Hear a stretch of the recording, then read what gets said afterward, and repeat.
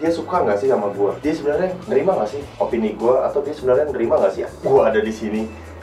Iya satu-satunya yang bisa membantu gue adalah membaca bahasa tubuh orang lain.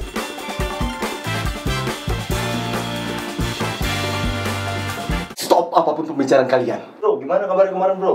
Bro bro bro.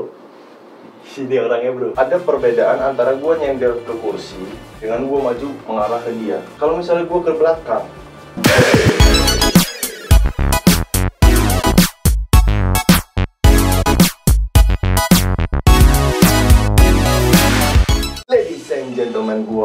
lagi dengan video bahasa tubuh. Tapi di video kali ini gua nggak pernah buat sebelumnya di channel Be More Gentle. Di video kali ini yang akan membedakan adalah gua membahas dari sisi negatif ya, dari sisi orang yang menolak keberadaan kita, orang yang menolak opini kita, orang yang menolak atau ya, apa pun itulah pokoknya dia intinya menolak gue yakin pasti banyak banget dari kalian ladies and gentlemen yang kadang bertanya-tanya kepada diri sendiri sebenarnya dia suka nggak sih sama gue dia sebenarnya nerima nggak sih opini gue atau dia sebenarnya nerima nggak sih gue ada di sini Iya, karena itu adalah pertanyaan yang dulu sering banget gua tanyakan kepada diri gua sendiri. Dan akhirnya gue di tempat mau nggak bisa leluasa gua terlalu banyak memikirkan apakah dia terima gua? Bener nggak ya? Akhirnya gue tanya sana sini tanya sana sini. Satu-satunya yang bisa membantu gua adalah membaca bahasa tubuh orang lain. Karena gua tahu dia nggak suka dengan gua gua harus memberikan sesuatu yang mungkin bisa membuat dia sedikit lebih menarik kepada gua. Non sexually. So without further ado gua akan memberikan bahasa-bahasa tubuh yang menolak keberadaan kita let's go and check it out. Yang pertama adalah mata yang tidak fokus. Bro gimana kabar kemarin bro? Baik bro. Lu gimana bro? Bro bro bro. Sini orangnya bro. Kalau kalian menemukan orang seperti ini atau minimal jangan pernah menggunakan mata yang tidak fokus ketika ngobrol dengan orang karena itu membuat kalian tidak tertarik dengan lawan bicara kalian dan itu benar-benar nggak enak gue yakin. Kalian ngobrol ya sama orang terus lawan bicara kalian ngeliatnya ke mana-mana itu rasanya kayak dianggurin bro. Jadi jangan pernah seperti itu. Dan kalau misalnya ada orang seperti itu oh, nanti gua akan bahas deh. dari semua poin penolakan yang gua bahas nanti di akhir akan gua kasih tahu bagaimana cara mengantisipasi so pertama adalah mata yang tidak fokus. Kita lanjut ke tips yang kedua. Yang kedua adalah tangan ada tutup. Tangan yang di jaket atau tangan yang di kantong atau tangan di belakang atau tangan di kalau begini dia nggak suka dengan kamu, dia mungkin marah. Ini adalah salah satu, eh, bukan ini, ya begini lah. Ini adalah salah satu bukti orang lagi marah, bosen juga bisa, atau nggak terima dengan keberadaan kalian juga bisa. Yang pasti orang marah pasti gini deh, atau nggak gini. Ini ditambah kerutan muka gue ya.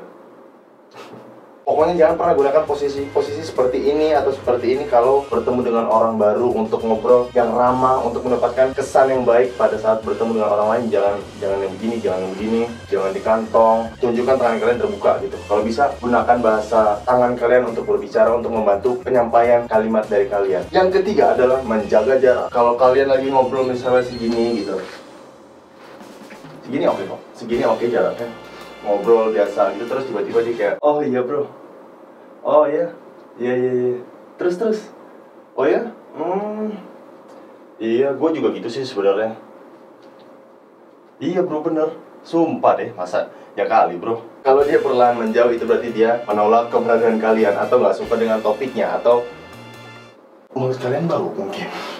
Kalau misalnya emang ada orang yang rada sedikit memberi jarak stop pembahasan kalian ganti topiknya. Yang menurut kalian akan menjadi seru kalau diobrolin gitu. Gua udah banyak banget membahas tentang nggak banyak sih ada beberapa lah. Ada membahas tentang topik yang baik. Bagaimana cara mendekatin mendekati orang. PDKT mau cowok mau cewek dalam arti ya PDKT bukan sekedar untuk pacaran gitu. Banyak maksud yang bisa kalian gunakan untuk mendekati orang. Nggak sekedar untuk berhubungan pasangan gitu, uh, relationship. Enggak jangan yang goda-goda kalau misalnya emang untuk profesional. Jangan yang kaku kalau emang untuk mendekati sebagai pasangan. Ya atur lah ya kalian lihat di sini teman dan yang keempat adalah kita udah mulai duduk. Kalau kita lagi duduk terus si lawan bicara tangannya udah mulai di